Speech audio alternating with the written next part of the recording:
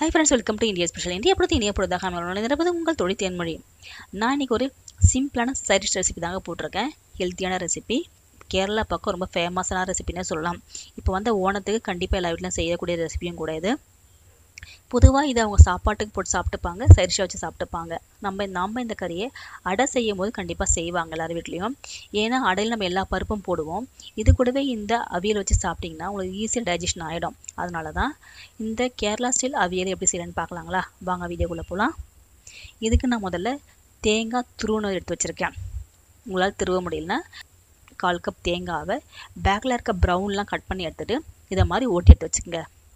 இப்போ இது கூடவே சீரகம் ஒரு ஸ்பூன் போட்டிருக்கேன். பச்சை மிளகாய் காரத்துக்கு ஒன்று போட்டிருக்கேன். இந்த காரம் அதிகமாக இருக்கும். அதனால் ஒன்று போதும். நீங்கள் வேணும் அதிகம் போடலாம் அதிகம் கூட போட்டுக்கலாம். சின்ன வெங்காயம் ஒரு நாலு போட்டிருக்கேன். கறி லீஃப் நாலு போட்டிருக்கேன். சின்ன வெங்காயம் ஒரு மீடியம் சைஸாக தான் இந்த அளவு எடுத்தால் போதும். ரொம்ப சின்னதாக இருந்தால் ஒரு அஞ்சு கூட எடுத்துக்கங்க நீங்கள் இதை நல்லா ஓட்டி எடுத்துன்னு வந்துடலாம்.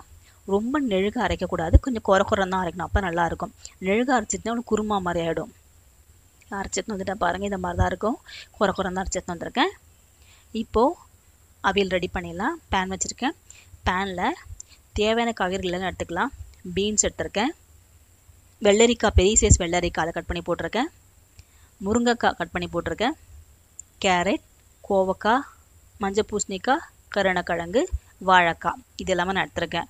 உங்ககிட்ட வேறு என்ன காய்கறி தான் நீங்கள் போட்டுக்கலாம். ஆனால் குழையாத காய்கறிகளை பார்த்து போட்டுக்கோங்க. பச்சை காய்கறிகள் கண்டிப்பாக போடுவாங்க. முக்கியமான விஷயம் அவியலுக்கு நீங்கள் போடுற காய்கறிகள் எல்லாமே நீல வாக்கில் கட் பண்ணி போட்டிங்கன்னா நல்லாயிருக்கும் இந்த மாதிரி எல்லாத்தையும் போட்டு வச்சுட்டேன்.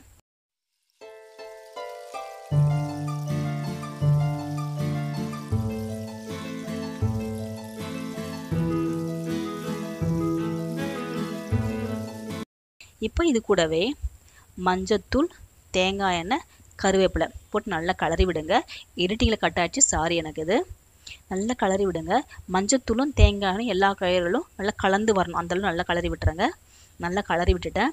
பொதுவாக இது நம்ம கலரத்துக்கு பிளண்டு இருக்கிற மாதிரி கரண்டியாக எடுத்துங்க. ரொம்ப ஷார்ப் கரண்டி எடுத்திங்கன்னா சீக்கிரம் கயிறில் உடைய சான்ஸ் இருக்குது கிளறி விட்டுட்டு இப்போ ஒரு கால் டம்ளர் தண்ணி ஊற்றிடுறேன் தண்ணி ஊற்றிட்டு மூடி போட்டு வேக வைங்க. மூடி போட்டு நல்லா கொதி வரட்டும். நல்லா கொதித்து வரும்போது நம்ம சிம்மில் வச்சா போதும். பாருங்கள் நல்லா கொதி வர ஆரம்பிக்குது. ஒரு டூ மினிட்ஸில் இப்போ அடுப்பை சிம்மில் வச்சு மூடி வச்சுருங்க. காய்கறிகள் வெந்து வரட்டும். இப்போ ஒரு த்ரீ மினிட்ஸ் பொறுத்து பார்த்தீங்கன்னா காய்கறி நல்லா வெந்திருக்கு. தண்ணி கொஞ்சம் லைட்டாக தான் இருக்குது இப்போ லைட்டாக நான் உப்பு போட்டுக்கிறேன். இப்போ அரைச்சி வச்சிருக்க தேங்காவும் போட்டுக்கலாம். போட்டு நல்லா கலரி விடுங்க.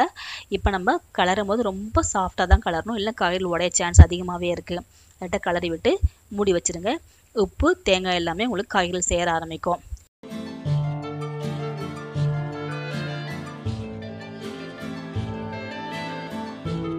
ஒரு த்ரீ மினிட்ஸ் பொறுத்து எடுத்து பாருங்கள் எல்லாம் நல்லா வெந்து வந்திருக்கு. தண்ணி நல்லா வற்றி போயிருக்கு. இப்போ இது கூடவே நம்ம கடைச்சி வச்சுருக்க தயிர் ஒரு கால் கப் ஊற்றிக்கிறேன் தயிர் ரொம்பவும் புளிக்கக்கூடாது ரொம்ப புளிக்காமல் இருக்கக்கூடாது. திட்டமான பாத்தில் தான் நல்லாயிருக்கும் போட்டு நல்லா கலரி விட்டு அடுப்பு ஆஃப் பண்ணிடுங்க. இதுக்கு மேலே அடுப்பு இருந்துச்சுன்னா உங்களுக்கு தயிர் திரிய ஆரம்பிச்சிடும் ஆஃப் பண்ணிவிட்டு இப்போ இது கூடவே கடுகு சீரகம் காஞ்ச மிளகாய் கருவேப்பிலை போட்டு தாளித்து கொட்டிங்க.